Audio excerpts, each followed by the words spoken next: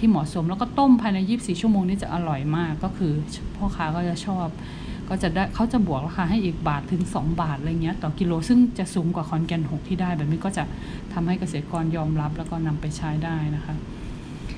ถ้าดูลักษณะของพันธุ์ที่บอกไว้นะคะ ก็จะมีข้อดีข้อเสียต่างกันนะคะถ้าเป็นคอนแกน8 4ขีด8นี่ฝักจะยาว ฝักใหญ่มี3-4ถึง4เมล็ดรสชาติดี ฝักดกออกเป็นกระจุกนะคะ ปิดขั้วง่าย กระเทอง่ายพ่อค้าชอบนะคะ แต่มีเงื่อนไขคือถ้าปลูกในสภาพไร่ฤดูฝนดินทรายเนี่ยดี แต่ถ้าปลูกหลังนาดินเหนียวเนี่ยขั้วมันจะขาดขาดในแปลงมันจะเปราะแล้วมันขาดขาดอยู่ในแปลงนะคะ ถ้า8 8 4ขีด7เนี่ยก็จะใกล้เคียงกับคอนแกนของเขาได้ผลผลิตเยอะนะ แต่ว่ามีฝักแค่มี 2 เมล็ด แล้วก็ขั้วเขาจะเหนียวเหนียว แต่รสชาติไม่ค่อยดีพันธุ์นี้จะเป็นพันธุ์ถ้าเลขคู่นะคะ ก็จะเป็นพันธุ์ที่เป็นฝักต้ม ถ้าเป็นเลขขี้ก็จะเป็นพันฝักแห้ง ที่แนะนำสำหรับทำเป็นฝักแห้งเนี้ยนะคะเขาก็จะก็รสชาติจะสู้ ถ้าฝักต้มก็จะแต่เหมือนกับทั้งต้มทั้งอะไรเขาก็เหมือนชาวบ้านจะชอบ84ขีด8มากกว่าแบบนั้นนะคะ ในพื้นที่ตรงนี้นะคะ แต่ที่อื่นเขาอาจจะชอบก็ได้นะก็จบแล้วนะคะ ก็เหมือนกับเป็นการแลกเปลี่ยนประสบการณ์นะคะ ก็ถ้าใครสนใจก็สามารถสอบถามได้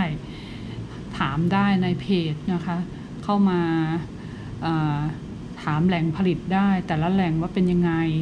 ถามถึงตัวเกษตรกรได้ หรือว่าจะเข้าไปซื้อ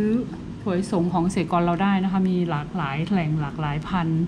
หลายสถานที่นะคะ ที่เกษตรกรทำงานกับเราแล้วก็ถ้าสนใจเทคโนโลยีการผลิตวิธีการผลิตคำถามหรือให้จะให้แนะนำอะไรก็ยินดีนะคะ เนื่องจากว่า เราอยากจะให้คนปลูกถั่วลิสงเรา